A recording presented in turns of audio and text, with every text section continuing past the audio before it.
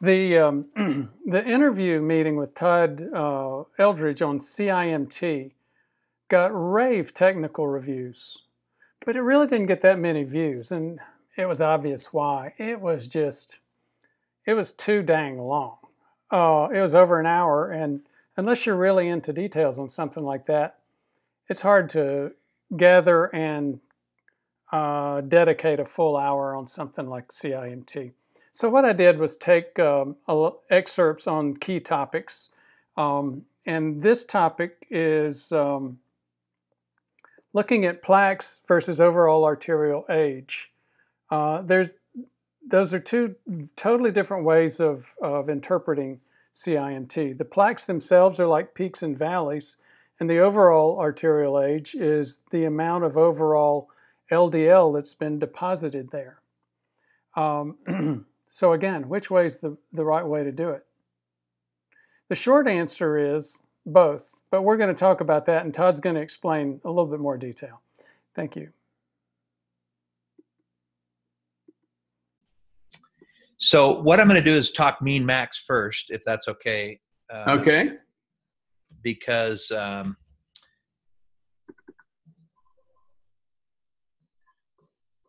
while you're picking it up, I'll give go. my version, and then you can correct my errors. So one of the other things about uh, Todd's reports, and I could show them if you, and you can show it if you've got my most recent report from April. Um, Todd routinely reports both mean max and uh, common IMT. Now he'll explain what those means, uh, what what those mean.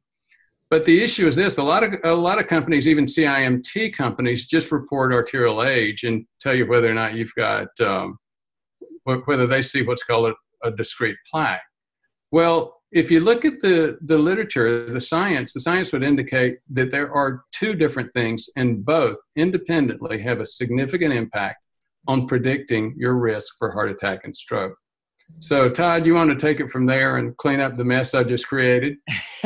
no, I don't think it's a mess at all. Let me, uh, I've actually got some images that I think I can bring up that will add clarity to that. Let me just, uh, yeah, here we go. So, so, um,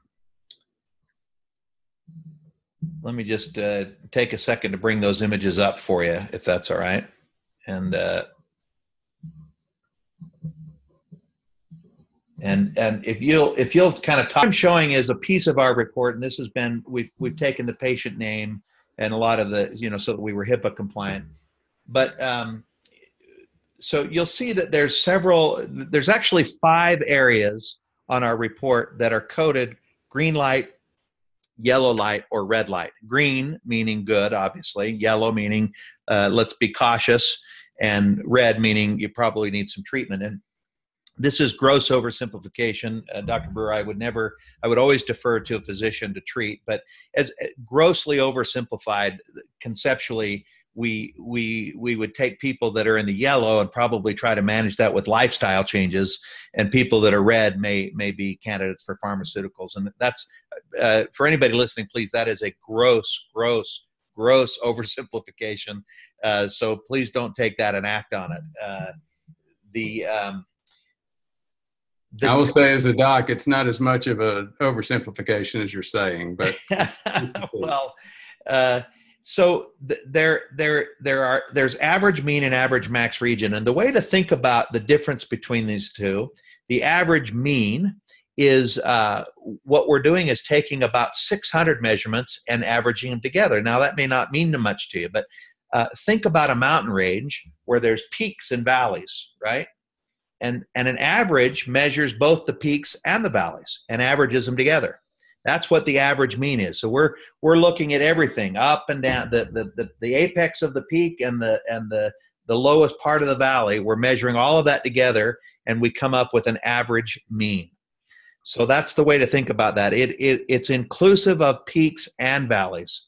The average CCA max region, by contrast, what it does in the same views, so three angles on the right, three angles on the left, what we're doing is taking the six thickest IMTs. So we're just measuring in a mountain range where there's lots of peaks. We take the, the tallest peak and measure it and and we say and then we take all so so the tallest peak in this image then the tallest peak from this image and then the tallest peak from this image and we average all of those together so it's the average of the peaks if you will right.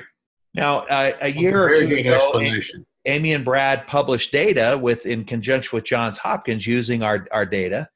And what they found is that there's actually information the delta between these two data points. When you atherosclerosis is a very rough disease that undulates.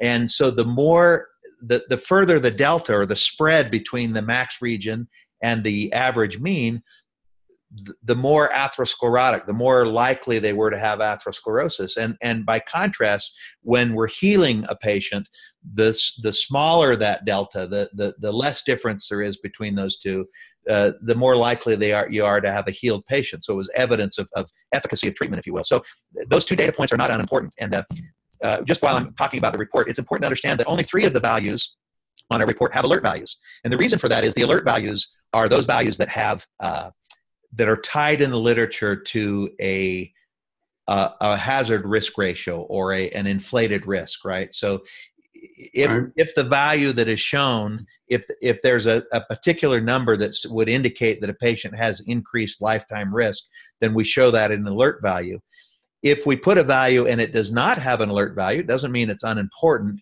uh, but you know like the arterial age people love that number. That's great but we would never want a physician to treat to the arterial age because that's that's just a coefficient. There's no there's no alert value there. And and quite frankly what a coefficient means for those that that may not be familiar with that it's just another way to say a number.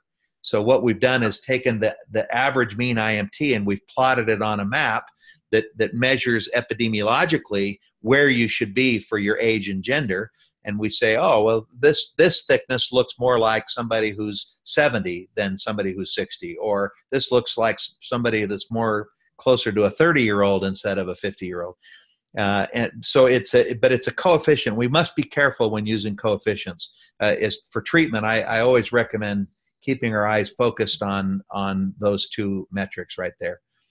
And so then, todd could i interrupt and just yeah. uh, maybe try to put it in um, my third grade or sixth grade uh, perception that uh, common IMT is more like just the the average, whereas the average of all of them, whereas uh, mean max is the average of the of the peaks. It's the you take the biggest plaques and say uh, you average those out.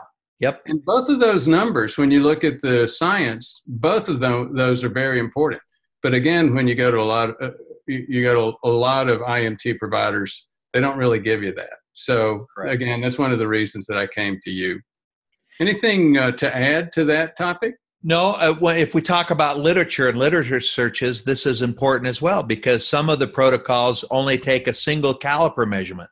And so their entire study is based on one caliper, one, one measurement, as yeah. opposed to measuring 600 measurements. And you can appreciate that one caliper measurement is not going to be as accurate or reproducible as taking 600 and and so we, we have to always focus on and and and the the i would say the vast majority of the early studies took three measurements on each side so it was more akin to the what what we post as our max region. So it's important that we understand how the measurements were taking taken uh, in order to understand better uh, what the true risk is